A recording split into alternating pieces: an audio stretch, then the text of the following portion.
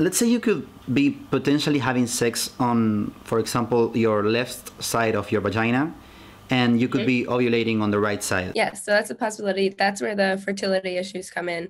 I would not be able to get pregnant that way. Paige D'Angelo tiene 21 años y es de Estados Unidos. Es bailarina, TikToker y dueña de una característica única en el mundo. Tiene dos sistemas reproductivos completos.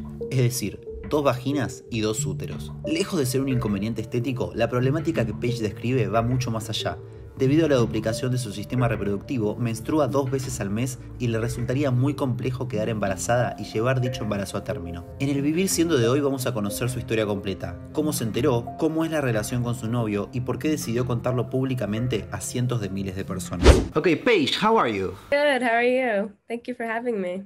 Thank you for being here. It's a pleasure for me to have you here. Yeah, I'm really excited. I've done a couple uh, interviews on articles, uh, and I did a Born Different episode, but I've never done a Zoom or face to face interview. My main audience is in Argentina and in Latin America, so uh, probably a lot of, more of people will get to know you. Well, I'm excited to get to know them as well. I will start right from the beginning. You were born with two reproductive systems. What does that mean? So I was born with two complete separate reproductive systems. Um, when I was born, I it's during this phase called embryogenesis. Um, you are actually born with two re- reproductive systems. Every female is, and they usually mesh in that phase. And mine didn't end up meshing, so they stayed as two. Um, so basically, it's two uterus, two cervix, and two vaginas. It looks, everything looks normal, and most women live their lives without even noticing that they have it until they go to try to have kids, or if their gynecologist catches it. But yeah, so I didn't know until I was 18 that that I had it. For example, the two vaginas, they are separated from like uh, something yeah, so it's a septum. So um, there's in my specific, there's so many different versions of the condition and ways that um, people could have this condition. But for me, there's just a septum that goes all the way down from the uterus to the opening, and it creates two vaginas from the septum. How did you find out about it? So I actually had no idea. Um, but growing up, I definitely had like pretty much everyone knows like the usual cramps that come along with periods. And mine was just always twice twice as much. So I, I just always felt twice the pain, but I have a pretty high pain tolerance um, from being a dancer. So I just let it slide. I didn't say anything. And then when you're 18, you're supposed to go to your first gynecologist checkup. So I went and she spotted it right away. And she was like, I don't know what this is, but I know something's wrong. So we're going to send you for an MRI. I would come back to the next appointment with your mom. I went to the appointment by myself and um, she sent me for an MRI, and then that's how they found out. And what did you think when they told you about it? I think being 18, I, I thought it was kind of cool. I was like, oh, I got like a little medical anomaly, like that's pretty fun.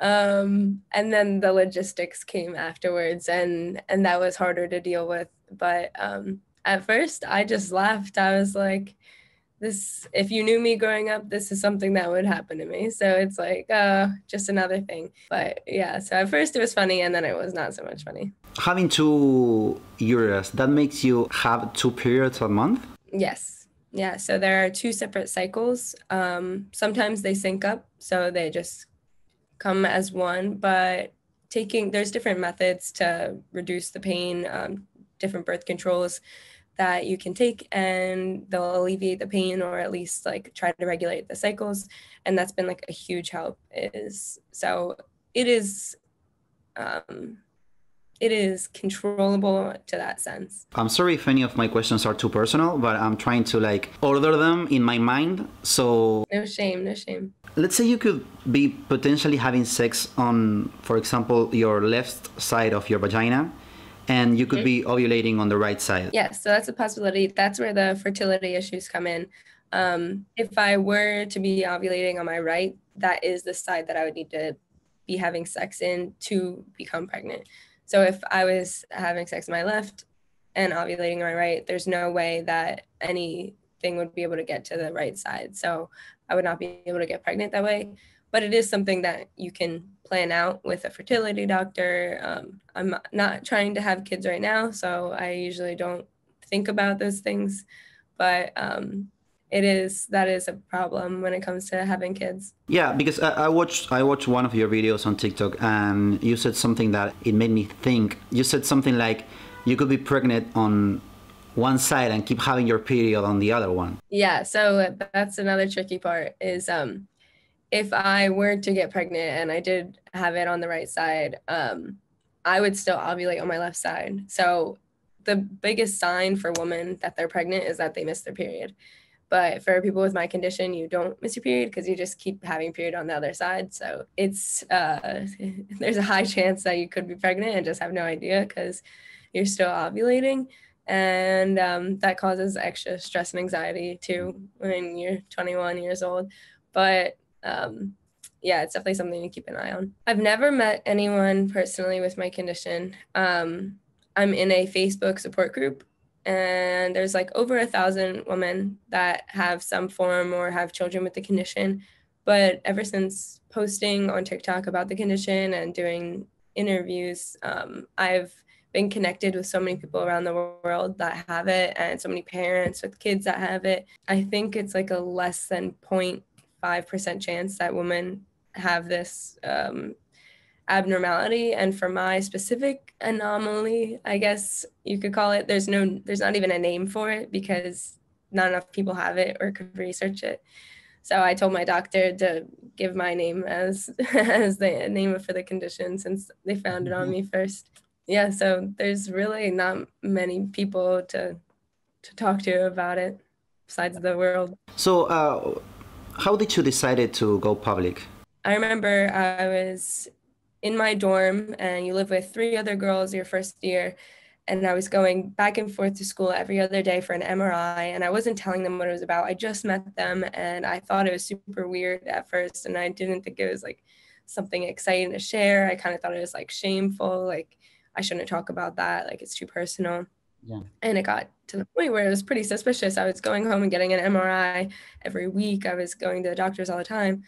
So finally I just told them and I just, was laughing and maybe crying a little. And they were like, oh my gosh, like that's so funny, but it, it doesn't, you shouldn't be ashamed of that. You shouldn't have any problem sharing that, especially with your roommates. And so from then on, I slowly but surely started telling people, and sometimes it would come off as a joke, and like people would like sort of make fun of me for it, but I can take any hits for it.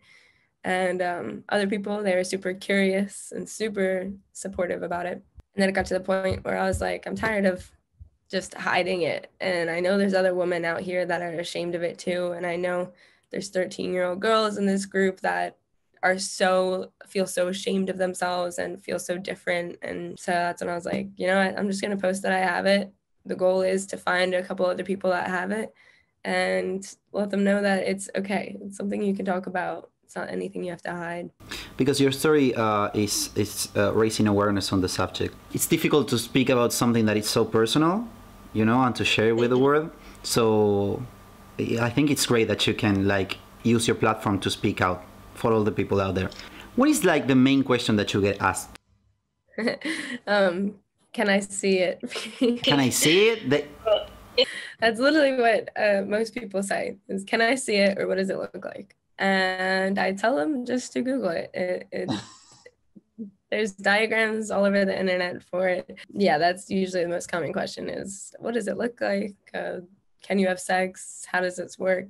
And I know that those are the questions that are going to come to people's minds. So I'm not offended by them because the whole point of me sharing this is to let people be more comfortable talking about their own bodies. So um, yeah, they don't they don't offend me at all. Is it more difficult uh, to have sex, or it does or does it have any difference? It honestly doesn't, um, but that is very unique to every case. Okay. So for my case, just the way that um, my septum falls, sometimes people like girls will have a vagina that is like a quarter of the size, and the other one's like three quarters of the size, because they all take up one space of one normal vagina. So like some will be like super small. And for those cases, it, it can be harder and it can have difficulties and um, complicate things. But for mine, it, it never it never complicated anything. And that's part of the reason why I never found out that I had the condition, and part of the reason why most women don't find out till they have a baby. So, just to clarify, you could be pregnant. Yes. So I can conceive.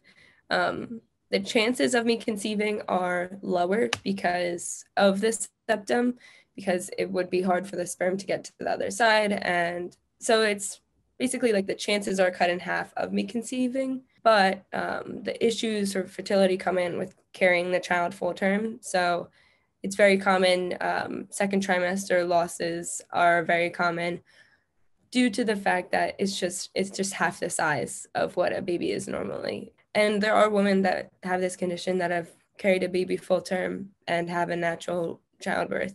But there's other women who have had five to 10 miscarriages before they could even um, carry one child like almost full term.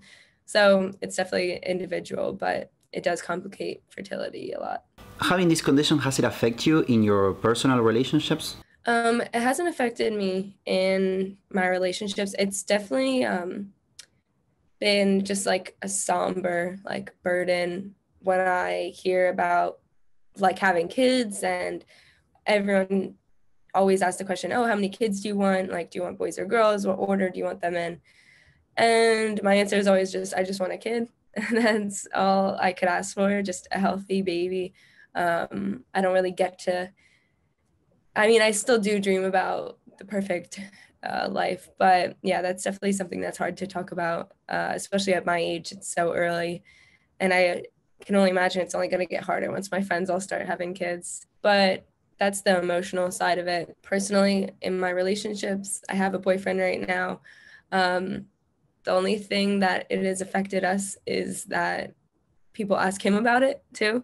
So the publicity part of it, since I went public about it, obviously people on my page know that I have a boyfriend and they would a lot of people direct message him with no filter, uh, no regards to our privacy, but that's that's what the internet is. So it's nothing that I can I, I'm surprised by at all. Is there anything else you would like to say? Just the whole reason that I am doing this because I'm sure I'm gonna get a lot of questions. I get comments saying you're just looking for attention and you just want people to like you just want follows. Put all that aside. The only reason I'm doing this is to just share my story, to be more comfortable with my body and give other females and anyone with any condition the chance to feel more comfortable about themselves, talking about their stories, and overall just building a better community, more accepting community when it comes to medical anomalies. I really appreciate you having me on though. Thank you, Paige. Thank you for being here. It's an honor for me to have you here.